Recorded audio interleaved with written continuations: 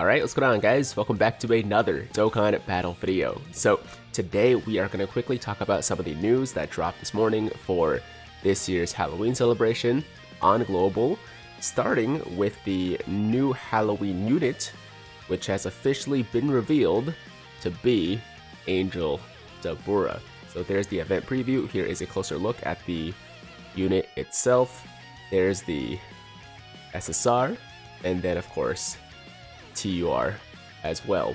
So there you have it guys, Angel Dabura will be this year's free-to-play Halloween unit, and honestly, um, it was not something I even thought about, you know, like when I was doing my speculation, when I was thinking through like possibilities, I was like, yo, number one, I want a pink apron egg Vegeta, you know, with the egg or with like a broom or something, um, because I just thought that was really funny uh, in the anime, but Number two, I was like, maybe a Super Saiyan Hercule would be cool as well. But this guy wasn't really on my list. He wasn't really on my radar. But I gotta say, I am very happy with it. I think this is a perfect choice. I think it's an amazing choice for a Halloween unit. I just didn't really, it didn't come to mind, right? But um, I'm more than satisfied with it. Hopefully next year uh, we get that Apron Vegeta, but this year we got the Dabura, and uh, it's pretty awesome. It's pretty awesome, especially compared to like some previous years where it was just like some random uh, pairings, which was fine, but it wasn't really. It didn't feel quite Halloween, right? Like it didn't feel like it was actually on on theme, right? But uh, this year, I think Dabura makes a lot of sense. It's also funny, right? Like Angel Dabura is a very uh, a funny character. So yeah, good choice. I like this one. So that is the first thing. Uh, let me know in the comments how you guys feel about it. By the way, what was your initial uh, reaction or your initial prediction, I guess, and then your reaction to the fact that we got the Dabura instead of whoever you were predicting, or maybe you did predict Angel Dabura, which would be really impressive. So uh, let us know in the comments about that as well.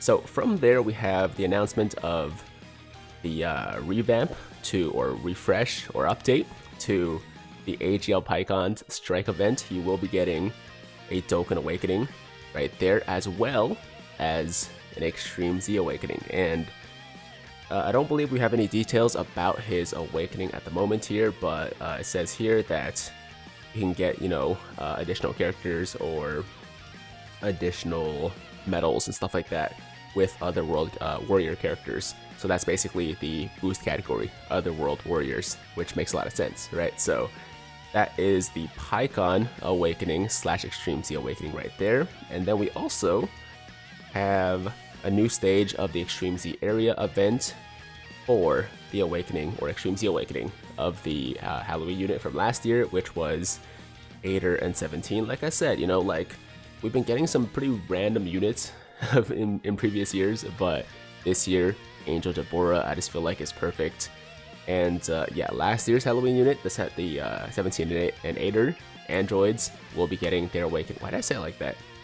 Android 8 and Android 17, 8er and 17 will be getting their Extreme Z Awakening. And uh, finally, we have uh, an update or an adjustment to the Majin Buu's Candy Mischief event.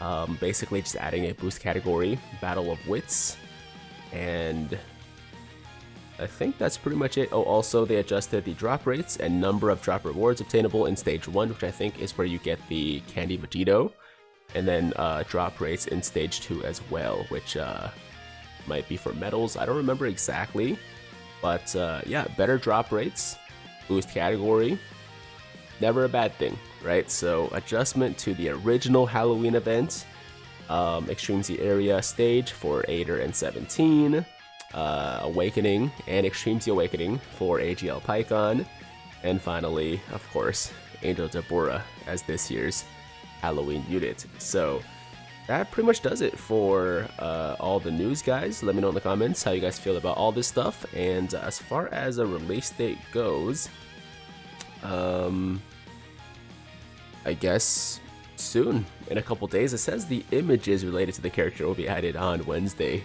the 26th, but we already got, you know, this, so I don't know when the actual release date is. I guess they plan to like release this image in a couple days, but we already have it, so it doesn't really matter. Anyways, guys, uh, that's gonna do it for me.